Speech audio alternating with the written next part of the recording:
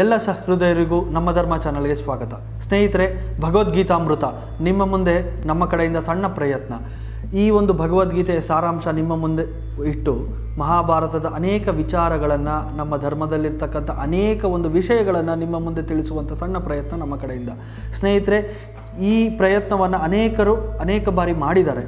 ನಮ್ಮ ಕಡೆಯಿಂದ ವಿನೂತನವಾಗಿ ವೈಚಾರಿಕವಾಗಿ ಸೈಂಟಿಫಿಕಲಿ ಆ್ಯಂಡ್ ನ್ಯಾಚುರಲ್ ಆಗಿ ನಿಮ್ಮ ಮುಂದೆ ಯಾವ ರೀತಿ ಇಡ್ಬೋದು, ಈಗಿನ ಪೀಳಿಗೆ ಇದನ್ನು ಯಾವ ರೀತಿ ಅರ್ಥ ಮಾಡ್ಕೋಬೋದು, ಯಾವುದೇ ವಿಚಾರವನ್ನು ನಾವು ಓದಿದಾಗ ಅದರಲ್ಲಿ ನಮಗೆ ಅರ್ಥ ಆಗೋ ರೀತಿಯಲ್ಲಿ ಅದು ಡಿಪೆಂಡ್ ಆಗಿರುತ್ತೆ. ಸೊ ಅರ್ಥ ಮಾಡ್ಕೊಳ್ಳೋದನ್ನು ನಾವು ಯಾವ ರೀತಿ ಅರ್ಥ ಮಾಡ್ಕೋಬೇಕು ಅನ್ನೋ ವಿಚಾರಗಳನ್ನು ನಿಟ್ಟಿನಲ್ಲಿ ನಿಮ್ಮ ಮುಂದೆ ಈ ಒಂದು ಪ್ರಯತ್ನವನ್ನು ಮಾಡ್ತಾ ಹೋಗ್ತಿದ್ದೀವಿ ಸ್ನೇಹಿತರೆ. ಸೊ ಹಾಗಿದ್ರೆ ಈ ಹೊತ್ತಿನ ಸಂಚಿಕೆಯಲ್ಲಿ ನೋಡೋಣ. ಕುಂತಿ ತನ್ನ ಮಕ್ಕಳನ್ನು ಕರೆದುಕೊಂಡು ಅಶ್, ಅರಮನೆಗೆ ಬಂದಾಗ ಯಾವ ರೀತಿ ರಿಯಾಕ್ಷನ್ಸ್ ಇರುತ್ತೆ? ಯಾವ ರೀತಿ ಕ್ವಶನ್ಸ್ನ ಫೇಸ್ ಮಾಡಬೇಕಾಗತ್ತೆ ಅನ್ನೋದನ್ನು ನೋಡೋಣ. ಸೊ ಕುಂತಿ ತನ್ನ ಐದೂ ಜನ ಮಕ್ಕಳನ್ನು ಕರೆದುಕೊಂಡು ಕಾಡಿನಿಂದ ಅರಮನೆಗೆ ಬರ್ತಾಳೆ. ಆಬ್ವಿಯಸ್ಲಿ ಗಂಡ ತೀರೋದ ಮೇಲೆ, ಇನ್ನೇನು ಮಾಡೋಕ್ಕೆ ದಾರಿ ಇಲ್ಲ ಅಂತಂದ ಮೇಲೆ, ಅತ್ತೆ ಮನೆ ಆಗಲಿ, ತವ್ರ ಮನೆ ಆಗಲಿ ದಾರಿ ಹಿಡಿಬೇಕಾಗತ್ತೆ. ಮಕ್ಕಳು ಬೆಳಿಬೇಕು. ಅವರು ಒಂದು ಒಳ್ಳೆಯದಕ್ಕೋಸ್ಕರ ಆದರೂ ಒಂದು ಜಾಗ ಹುಡುಕಬೇಕು, ನೆಲೆ ಸಿಗಬೇಕು ಅಂತ ಕುಂತಿ ತನ್ನ ಮಕ್ಕಳನ್ನು ಕರೆದುಕೊಂಡು ಅಲ್ಲಿ ಇವ್ರ ಜೊತೆ ಆಶ್ರಮದಲ್ಲಿದ್ದಂಥ ಅನೇಕ ಜನರು ಕೂಡ ಇವ್ರ ಜೊತೆ ಬಂದು ಅರಮನೆಯಲ್ಲಿ ಇವರನ್ನು ಬಿಡ್ತಾರೆ. ಇವರನ್ನು ನೋಡಿದಂಥ ಕೌರವರಲ್ಲಿ ಏನೋ ಒಂದು ಕಳವಳ. ನಮಗೆ ಆಪೋಸಿಟಾಗಿ ಯಾರೋ ಬಂದುಬಿಟ್ರಲ್ಲ, ಇವ್ರನ್ನ ನಾವು ಹೆಂಗೆ ಅಕ್ಸೆಪ್ಟ್ ಮಾಡೋದು?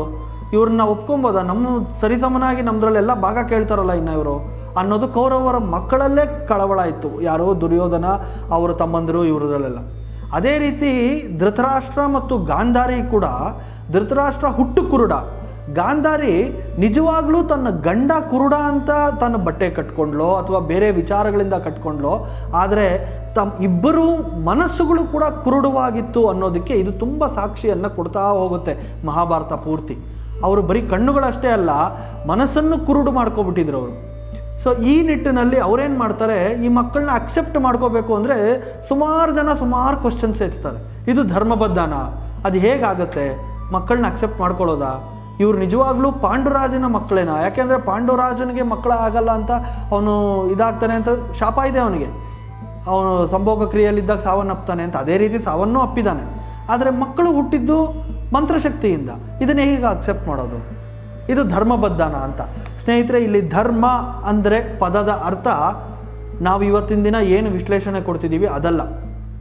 ಧರ್ಮ ಅಂತಂದರೆ ಆಯಾ ಕಾಲಘಟ್ಟಕ್ಕೆ, ಆಯಾ ಪರಿಸ್ಥಿತಿಗೆ, ಸಂದರ್ಭಕ್ಕೆ ನಾವು ನಿರ್ವರ್ತಿಸಬಹುದಾದಂಥ ಕರ್ತವ್ಯಗಳಿಗೆ ಹೆಸರೇ ಧರ್ಮ.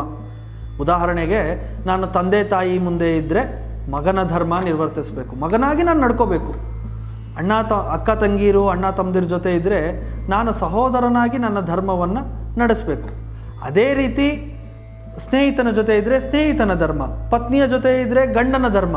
ನಾನು ಎಲ್ಲೆಲ್ಲಿ ಇರ್ತೀನೋ ನಾನು ಆಫೀಸಲ್ಲಿದ್ದಂಗೆ ಮನೇಲಿ ಇರೋಕ್ಕಾಗಲ್ಲ ಸ್ಕೂಲಲ್ಲಿದ್ದಂಗೆ ಮನೇಲಿ ಇರೋದಕ್ಕಾಗೋದಿಲ್ಲ ಎಲ್ಲಿದ್ದರೆ ಅಲ್ಲಿದ್ದ ಬಿಹೇವಿಯರ್ನ ನಾನು ನಡ್ಕೋಬೇಕು. ಆ್ಯಂಡ್ ಅಲ್ಲಿನ ಕಟ್ಟುಪಾಡುಗಳನ್ನು ನಾನು ಪಾಲಿಸಬೇಕು. ಇದೇ ಧರ್ಮ ಅಂತಂದರೆ. ಸೊ ಈ ಧರ್ಮವನ್ನು, ಧರ್ಮ ಸೂಕ್ಷ್ಮ ವಿಚಾರಗಳನ್ನು ಆಗಿನ ಕಾಲದಲ್ಲಿ ಅನೇಕ ಪಂಡಿತರು, ವಿದ್ವಾಂಸರು ವಿದ್ಯಾವಂತರು, ಬ್ರಾಹ್ಮಣೋತ್ತಮರು ಅಂತ ನಾವು ದ್ವಿಜೋತ್ತಮರು ಯಾರ್ಯಾರು ಇದ್ದರೂ ಎಲ್ಲರೂ ಕೂಡ ಅನಲೈಸ್ ಮಾಡೋಕ್ಕೆ ಸ್ಟಾರ್ಟ್ ಮಾಡ್ತಾರೆ. ಇದು ಸರಿನಾ, ತಪ್ಪ? ಹಾಗಿದ್ರೆ ನಮ್ಮದ್ರಲ್ಲಿ ಮದುವೆಗಳು ಆಗೋ, ಮದುವೆ ಆಗೋದಕ್ಕೆ ಎಷ್ಟು ವಿಧಗಳಿದೆ? ಮದುವೆ ಆಗೋದಕ್ಕೆ ನಮ್ಮದ್ರಲ್ಲಿ ಎಂಟು ರೀತಿಯ ವಿಧಗಳಿದೆ, ತಿಳಿದಿರಲಿ. ಎಂಟು ರೀತಿಯ ವಿಧಗಳು ಅಂದರೆ ಒಂದು ಪ್ರೀತಿಸಿ ಮದುವೆ ಆಗ್ಬೋದು, ಇನ್ನೊಂದು ದಾನ ಪಡೆದು ಮದುವೆ ಆಗ್ಬೋದು, ಇನ್ನೊಂದು ಯುದ್ಧದಲ್ಲಿ ಗೆದ್ದು ಮದುವೆ ಆಗ್ಬೋದು. ಈ ರೀತಿ ಇನ್ನೊಂದು ದೊಡ್ಡವರ ಒಂದು ಪರಿಪಾಲನೆ ಮೇಲೆ ಮದುವೆ, ಅವರು ನೋಡಿ ಇಷ್ಟಪಟ್ಟು ಮದುವೆ ಮಾಡ್ಬೋದು. ಈ ರೀತಿ ಎಂಟು ವಿಧಗಳಿದೆ. ಈ ಎಂಟು ವಿಧಗಳನ್ನು ತೋರಿಸ್ಕೊಟ್ಟವನು ಶ್ರೀಕೃಷ್ಣ ಪರಮಾತ್ಮ. ಮದುವೆಗಳಲ್ಲೂ ಇಷ್ಟು ವಿಧ ಇದೆ ಅಂತ. ಸೊ ಈ ರೀತಿ ಎಷ್ಟೆಷ್ಟು ಧರ್ಮಬದ್ಧ ಸೂಕ್ಷ್ಮ ವಿಚಾರಗಳನ್ನೆಲ್ಲ ಡಿಸ್ಕಸ್ ಮಾಡ್ತಾರೆ. ಇವರು ಧರ್ಮಬದ್ಧರೇನಾ? ಈ ರೀತಿ ಮಂತ್ರೋಚ್ಚಾರಣೆಯಿಂದ ಹುಟ್ಟಿದ್ರೆ ಇವರು ನಿಜವಾಗ್ಲೂ ಧರ್ಮವಂತರೇನಾ? ಇದೆಲ್ಲ ಯೋಚನೆ ಮಾಡಿದಾಗ ಆಬ್ವಿಯಸ್ಲಿ ಇವರು ವಂಶದಲ್ಲಿ ಮುಂಚೆನೇ ಧೃತರಾಷ್ಟ್ರ ಮತ್ತು ಮತ್ತು ಪಾಂಡುರಾಜನ ಜನ್ಮವೂ ಕೂಡ ಇದೇ ರೀತಿ ಆಗಿರುತ್ತೆ. ಯಾವಾಗ ಅಂಬಿಕೆ ಮತ್ತು ಅಂಬಾಲಿಕೆಯ, ಈ ಧೃತರಾಷ್ಟ್ರ ಮತ್ತು ಪಾಂಡುರಾಜನ ತಾಯಂದರು ಅಂಬಿಕೆ ಮತ್ತು ಅಂಬಾಲಿಕೆ. ಆ ಕಥೆಯನ್ನು ಇನ್ನೊಂದು ದಿನ ಹೇಳ್ತೀನಿ. ಇವರ ಗಂಡ ತೀರೋಗ್ತಾನೋ ಸಂತಾನ ವೃದ್ಧಿ ಇರೋದಿಲ್ವೋ, ವಂಶಾಭಿವೃದ್ಧಿ ಇರೋದಿಲ್ವೋ, ಆಗ ಸತ್ಯವತಿ ಯಾರೋ ಭೀಷ್ಮನ ಚಿಕ್ಕಮ್ಮ. ಸತ್ಯವತಿ ಏನು ಮಾಡ್ತಾಳೆ?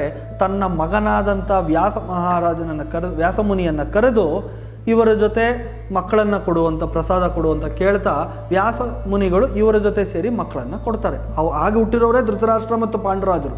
ನೀವು ಕೂಡ ಹಾಗೆ ತಾನೇ ಹುಟ್ಟಿರೋದು.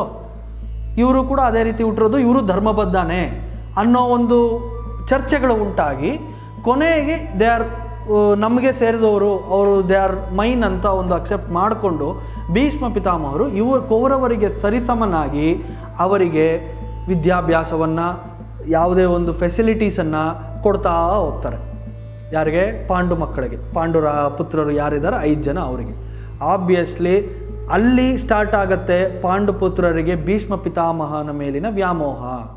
ಈಗ ನಮ್ಗಳಿಗೆ ಆಗಿರ್ಬೋದು ನಮ್ಮ ತಾತ ಅಜ್ಜಿಯರನ್ನ ನೋಡಿದ್ರೆ ಎಷ್ಟು ವ್ಯಾಮೋಹ ಇರುತ್ತೆ. ನಾವು ಏನೇ ಕಷ್ಟದಲ್ಲಿದ್ದಾಗ ನಮ್ಮನ್ನು ಕಾಪಾಡ್ತಾರೆ, ಬುದ್ಧಿ ಹೇಳ್ತಾರೆ, ತಿಳಿ ಹೇಳ್ತಾರೆ. ಅದೇ ರೀತಿ ವ್ಯಾಮೋಹವನ್ನು ಭೀಷ್ಮರ ಮೇಲೆ ಇವ್ರಿಗೂ ಕೂಡ ಬೆಳೀತಾ ಹೋಗುತ್ತೆ. ಅವರು ಕೂಡ ಅದೇ ರೀತಿ ಕಾಪಾಡ್ತಾರೆ ಇವರನ್ನು. ಸೊ ಕಾಪಾಡಿ ಅವರನ್ನು ಒಂದು ವಿದ್ಯಾಭ್ಯಾಸ ಕೊಡಿಸಿ ಇವ್ರಿಗೆ ಸರಿಸಮನಾಗಿ ಬೆಳೆಸ್ತಾ ಬೆಳೆಸ್ತಾ ಪ್ರೈಮರಿ ಎಜುಕೇಷನನ್ನು ಕೃಪಾಚಾರ್ಯರ ಬಳಿ ಕೊಡಿಸ್ತಾರೆ. ತದನಂತರ ಹೈಯರ್ ಎಜುಕೇಷನ್ಗೋಸ್ಕರ ಎಲ್ಲೋ ಒಂದು ಕಡೆ ಕಷ್ಟಗಳಲ್ಲಿದ್ದಂಥ ದ್ರೋಣಾಚಾರ್ಯರನ್ನು ಕರ್ಕೊಬಂದು ಅವ್ರಿಗೊಂದು ನೆಲೆಯನ್ನು ಕೊಟ್ಟು ದ್ರೋಣಾಚಾರ್ಯರ ಬಳಿ ಇವರನ್ನು ಎಜುಕೇಷನ್ ಕಲಿಯೋಕ್ಕೆ ಬಿಡ್ತಾರೆ ಹೈಯರ್ ಎಜುಕೇಷನ್ ದ್ರೋಣಾಚಾರ್ಯರು ಕೂಡ ಎಲ್ಲರಿಗೂ ಎಲ್ಲ ಎಜುಕೇಷನ್ ಕಲಿಸ್ತಾ ಇದ್ರು. ಇವರಿಗೆ ಪ್ರಿಯನಾದಂಥ ಶಿಷ್ಯ ಯಾರು? ಅರ್ಜುನ. ಅರ್ಜುನನ ಅಷ್ಟೇ ಪ್ರೀತಿಯಿಂದ ಇವರು ಬೆಳೆಸಿ ಅವನಿಗೆಲ್ಲ ವಿದ್ಯೆಗಳನ್ನು ತನ್ನ ಮಗ ಅಶ್ವತ್ಥಾಮನನ್ನು ಕೂಡ ಬಿಟ್ಬಿಟ್ಟು ಅವನಿಗೂ ಕೂಡ ಹೇಳ್ಕೊಡೋ ಅಷ್ಟು ಹೇಳ್ಕೊಡ್ತಾರೆ. ಆದರೆ ಅವನಿಗಿಂತ ಒಂದು ಕೈ ಜಾಸ್ತಿ ಹೇಳ್ಕೊಡ್ತಾರೆ ಅರ್ಜುನನಿಗೆ ವಿದ್ಯೆಯನ್ನು. ಅಷ್ಟು ವಿದ್ಯೆಗಳನ್ನು ಧಾರೆ ಎರೀತಾರೆ. ಕೊನೆಗೆ ಅರ್ಜುನ ಕೇಳ್ದ ಅಂತ ಏಕಲವ್ಯನ ಹೆಬ್ಬೆರಳನ್ನೇ ಅವರು ಒಂದು ದಾನವನ್ನಾಗಿ ಪಡೆದು ಏಕಲವ್ಯನ ಶಸ್ತ್ರದ ಇದು ಮಾಡಿಬಿಡ್ತಾರೆ. ಸೊ ಆ ರೀತಿ ಒಂದು ವ್ಯಾಮ, ಸಂಬಂಧವನ್ನು ಇಟ್ಕೊಂಡಿದ್ದಂಥ ದ್ರೋಣಾಚಾರ್ಯರ ಎದುರುಗಡೆ ಮತ್ತು ಭೀಷ್ಮರ ಎದುರುಗಡೆ ಅರ್ಜುನ ಯುದ್ಧ ಮಾಡೋಕ್ಕಾದ್ರೂ ಮನ್ಸು ಹೇಗೆ ಬರುತ್ತೆ? ನಾವು ಕೂಡ ಈ ಥರ ಸಿಚುಯೇಷನ್ ಸುಮಾರು ಫೇಸ್ ಮಾಡಿರ್ತೀವಿ. ಹೇಗೆ ಫೇಸ್ ಮಾಡ್ತೀವಿ ಅಂತಂದರೆ ಎಲ್ಲೋ ಒಂದು ಕಡೆ ನಮಗೆ ಆಲ್ರೆಡಿ ಮಾಡಿರೋ ಸಹಾಯ ಮಾಡಿರ್ತಾರೆ ಒಂದು, ಒಂದಲ್ಲ ಒಂದು ಕಾಲದಲ್ಲಿ. ಆ ಸಹಾಯದ ಹೆಸರನ್ನೇ ಹೇಳಿಕೊಂಡು ಪ್ರತಿ ಕ್ಷಣ ನಾನು ಇವರಿಂದ ಸಹಾಯ ಪಡೆದಿದ್ದೀನಿ ಅಂತ ಪ್ರತಿ ಕ್ಷಣ ನಾವು ಅವ್ರಿಗೆ ಕೃತಜ್ಞರಾಗೇ ಇರಬೇಕು ಅನ್ನೋದಕ್ಕಾಗೋದಿಲ್ಲ ಕಾಲಕ್ಕೆ ಸಮಯಕ್ಕೆ ತಕ್ಕಂಗೆ ಬದಲಾಗ್ತಾ ಇರುತ್ತೆ. ಕೆಲವು ಟೈಮಲ್ಲಿ ಅವರು ಕೂಡ ಧರ್ಮದ ಬದ್ಧವಾಗಿರ್ಬೋದು ಅಥವಾ ಅಧರ್ಮದ ಬದ್ಧವಾಗಿ ನಿಲ್ಬೋದು. ಯಾವುದೇ ಕಡೆ ನಿಂತ್ರೂನು ನೀನು ಧರ್ಮದ ಕಡೆ ನಿಲ್ಲು ಅನ್ನೋದನ್ನು ಶ್ರೀಕೃಷ್ಣ ಪರಮಾತ್ಮ ಹೇಳ್ಕೊಡ್ತಾನೆ. ಈ ಎಲ್ಲ ವ್ಯಾಮೋಹಗಳು ಅವ್ರ ಕರ್ತವ್ಯ ಅವ್ರು ಮಾಡಿದ್ದಾರೆ. ನಿನ್ನ ಮೇಲಿನ ಪ್ರೀತಿ ತೋರಿಸಿರ್ಬೋದು, ನಿನಗೆ ಅವ್ರ ಮೇಲೆ ವ್ಯಾಮೋಹ ಇರ್ಬೋದು. ಈ ಪ್ರೀತಿ ಸಂಬಂಧಗಳಿದ್ದು ಯಾವುದು ಶಾಶ್ವತ ಅಲ್ಲ. ಎದ್ದೇಳು ಅರ್ಜುನ ಅಂತ ಅರ್ಜುನನಿಗೆ ಎಬ್ಬಿಸೋಕ್ಕೆ ಟ್ರೈ ಮಾಡ್ತಾನೆ ಶ್ರೀಕೃಷ್ಣ. ಸೊ ಅರ್ಜುನ ಈ ವ್ಯಾಮೋಹಗಳನ್ನೆಲ್ಲ ಇಟ್ಕೊಂಡು ತನ್ನ ತಾತ ಭೀಷ್ಮ ನೋಡ್ತಾ ಮತ್ತು ಗುರುಗಳಾದಂಥ ದ್ರೋಣರನ್ನು ನೋಡ್ತಾ, ಇವ್ರ ಮುಂದೆ ನಾನು ಯುದ್ಧವನ್ನೇ ಮಾಡೋಕ್ಕಾಗಲ್ಲ, ಭಿಕ್ಷೆ ಆದರೂ ಬೇಡ್ತೀನಿ ಅನ್ನೋ ಮಾತನ್ನು ಹೇಳಿ ಯುದ್ಧವನ್ನು ಕೈ ಚೆಲ್ಲಿ ನಿಂತಾಗ ಶ್ರೀಕೃಷ್ಣ ಪರಮಾತ್ಮ ಬೋಧನೆಯನ್ನು ಶುರು ಮಾಡ್ತಾನೆ. ಏನು ನೀನು ಏನು ಮಾಡಬೇಕು ಅಂತ ಅಂದ್ಕೊಂಡಿದ್ಯಾ ನೀನೆಲ್ಲ ಮಾಡ್ತಿರೋದು, ನಾನು ಮಾಡಿಸ್ತಿರೋದು. ತಿಳ್ಕೊ, ಜೀವನ ಅಂದರೆ ಇದು. ನೀನು ಅಂದ್ಕೊಂಡಿರೋ ಪ್ರೀತಿ ವ್ಯಾಮೋಹ, ಅಥವಾ ಏನು ಅಂದ್ಕೊಂಡು ಅವ್ರು ನಿನಗೆ ಸಹಾಯ ಮಾಡಿದ್ದಾರೆ ಬೆಳೆಸಿದ್ದಾರೆ ಅಂದಷ್ಟು ಮಾತ್ರಕ್ಕೆ ಜೀವನ ಪೂರ್ತಿ ಅವ್ರ ಬಡಿ ಗುಲಾಮನಾಗಿರಬೇಕು, ಅಥವಾ ಅವ್ರು ಮಾಡಿದ್ದಕ್ಕೆಲ್ಲ ನೀನು ರೆಡಿ ಸೈ ಅಂತ ಹೇಳಬೇಕು ಅಂತಲ್ಲ. ತಪ್ಪಿದರೆ ತಪ್ಪು ಮಾತಾಡಬೇಕು, ಸರಿ ಇದ್ದರೆ ಸರಿ ಮಾತಾಡಬೇಕು ಆ್ಯಂಡ್ ನಿನ್ನ ಕರ್ತವ್ಯವನ್ನು ನೀನು ನಿರ್ವರ್ತಿಸಬೇಕು. ಸಹಾಯ ಮಾಡಿರ್ಬೋದು, ನಿನಗೆ ಅವ್ರು ಬೆಳೆಸಿರ್ಬೋದು, ನಿನಗೆ ಅವರು ಕಾಪಾಡಿರ್ಬೋದು, ವಿದ್ಯೆಯನ್ನು ಕಲಿಸಿರ್ಬೋದು whatever it may be ಆದರೆ ನೀನು ನಿನ್ನ ಕರ್ತವ್ಯವನ್ನು ನಿರ್ವರ್ತಿಸುವಾಗ ಎದುರುಗಡೆ ಇರೋರು ಯಾರೇ ಆಗಲಿ ವ್ಯಾಮೋಹಕ್ಕೆ ಒಳಗಾಗಬೇಡ, ಸಂಬಂಧಗಳಿಗೆ ಒಳಗಾಗಬೇಡ. ಸೊ ಇಲ್ಲಿ ಯಾವುದೂ ಶಾಶ್ವತ ಅಲ್ಲ ಯಾವುದೂ ಶಾಶ್ವತವಾಗಿಲ್ಲ ಅಂತ ಒಂದು ಬೋಧನೆಯನ್ನು ಶ್ರೀಕೃಷ್ಣ ಪರಮಾತ್ಮ ಮುಂದಿನ ಸ ಶ್ಲೋಕಗಳಲ್ಲಿ ಅರ್ಜುನನಿಗೆ ಎಕ್ಸ್ಪ್ಲೈನ್ ಮಾಡ್ತಾ ಹೋಗ್ತಾನೆ. ಸೊ ಈ ಕಥೆಯಿಂದ ನಮ್ಗೆ ಅರ್ಥ ಆಯಿತು, ಅರ್ಜುನ ಯಾಕೆ ಇವ್ರ ಮೇಲೆ ಅಷ್ಟು ವ್ಯಾಮೋಹ ಇಟ್ಕೊಂಡಿದ್ದ, ಯಾಕೆ ಅವನಿಗೆ ಅಷ್ಟೊಂದು ದುಃಖ ಆಯಿತು ಯುದ್ಧ ಭೂಮಿಯಲ್ಲಿ ನಿಂತು ಯಾಕೆ ಶಸ್ತ್ರಗಳನ್ನ ಕೈ ಚೆಲ್ಬಿಟ್ಟ? ನನಗೆ ಬೇಡವೇ ಬೇಡ ಅಂತ ಹೇಳ್ದ ಅಂತ ಈ ಕ ಸಣ್ಣ ಕಥೆಯಿಂದ ಇದು, ಇದೊಂದೇ ಅಲ್ಲ. ಮುಂದೆ ಬರ್ತಾ ಬರ್ತಾ ಈ ಪಾಂಡವರನ್ನು ಕಾಪಾಡ್ತಾರೆ. ಅನೇಕ ಬಾರಿ ಕಾಪಾಡ್ತಾರೆ. ಭೀಷ್ಮ ಪಿತಾಮಹರಾಗ್ಬೋದು ದ್ರೋಣಾಚಾರ್ಯರಾಗ್ಬೋದು ಕಾಪಾಡ್ತಾರೆ. ಅವರನ್ನು ಬೆಳೆಸ್ತಾರೆ. ಅವ್ರಿಗೆ ಒಳ್ಳೆ ದಾರಿಗಳನ್ನು ತೋರಿಸ್ತಾರೆ. ಪ್ರತಿ ಬಾರಿ ಅವ್ರಿಗೆ ಸಪೋರ್ಟ್ ಮಾಡ್ತಾರೆ. ಯುದ್ಧದಲ್ಲೂ ಕೂಡ ಅವ್ರಿಗೆ ಸಪೋರ್ಟ್ ಮಾಡ್ತಾರೆ. ಇಂಡೈರೆಕ್ಟ್ಲಿ ಆದರೆ ಅವರು ನಿಂತಿರೋ ಜಾಗ ಸರಿ ಇಲ್ಲ. ಅಧರ್ಮದ ಕಡೆ ನಿಂತಿದ್ದಾರೆ. ಆದ್ದರಿಂದ ಅದು ಸರಿಯಾದದಲ್ಲ ಅಂತ ಶ್ರೀಕೃಷ್ಣ ಪರಮಾತ್ಮ ಮುಂದೆ ಹೇಳ್ತಾ ಹೋಗ್ತಾನೆ. ಹೇಗೆ ಹೇಳ್ತಾನೆ ಅನ್ನೋದನ್ನು ಮುಂದಿನ ಸಂಚಿಕೆಗಳಲ್ಲಿ ನೋಡೋಣ. ಸ್ನೇಹಿತರೆ, ಈ ಅನೇಕ ವಿಚಾರಗಳನ್ನು, ಅನೇಕ ಒಂದು ಆಸಕ್ತಿಕರವಾದಂಥ ಕಥೆಗಳನ್ನು ಮತ್ತು ಶ್ಲೋಕ ಭಗವದ್ಗೀತೆಯಲ್ಲಿ ಶ್ರೀಕೃಷ್ಣ ಪರಮಾತ್ಮ ಹೇಳಿರೋದನ್ನು ನಾವು ಈಗಿನ ಪೀಳಿಗೆಗೆ ರೀಚ್ ಮಾಡಿಸೋದಕ್ಕೆ ಟ್ರೈ ಮಾಡ್ತಿದ್ದೀವಿ. ಆ್ಯಂಡ್ ನಮಗೆ ತಿಳಿದಿರುವ ಜ್ಞಾನದಿಂದ ನಿಮಗೆ ಅದನ್ನು ಯಾವ ರೀತಿ ತಲುಪಿಸ್ಬೋದು ಅದರ ಅನೇಕ ಅರ್ಥಗಳು ಯಾವ ರೀತಿ ಕೊಡುತ್ತೆ ಅನ್ನೋದನ್ನು ನಿಮಗೆ ತಿಳಿಸ್ಬೇಕು ಅನ್ನೋ ಸಣ್ಣ ಪ್ರಯತ್ನ ನಮ್ಮ ಕಡೆಯಿಂದ. ನಿಮಗಿದು ಇಷ್ಟ ಆಗಿದರೆ ನಾಲ್ಕಾರು ಜನರ ಜೊತೆ ಹಂಚ್ಕೊಳ್ಳಿ, ನಿಮ್ಮ ಸ್ನೇಹಿತರಿಗೆ, ಮಕ್ಕಳಿಗೆ ತಿಳಿಸಿ ಹೇಳಿ, ನೀವು ಕೂಡ ಈ ವಿಚಾರಗಳನ್ನು ತಿಳ್ಕೊಳ್ಳಿ ಅಂತ ಹೇಳ್ತಾ, ನಿಮ್ಮ ಸಲಹೆಗಳೇನಾದರೆ ಕಾಮೆಂಟ್ ಬಾಕ್ಸಲ್ಲಿ ತಿಳಿಸಿ ಅಂತ ಹೇಳ್ತಾ, ಈ ವಿಡಿಯೋನ ಲೈಕ್ ಮಾಡಿ ಶೇರ್ ಮಾಡಿ ಮತ್ತು ನಮ್ಮ ಚಾನಲ್ನ ಸಬ್ಸ್ಕ್ರೈಬ್ ಮಾಡಿ. ಧನ್ಯವಾದ.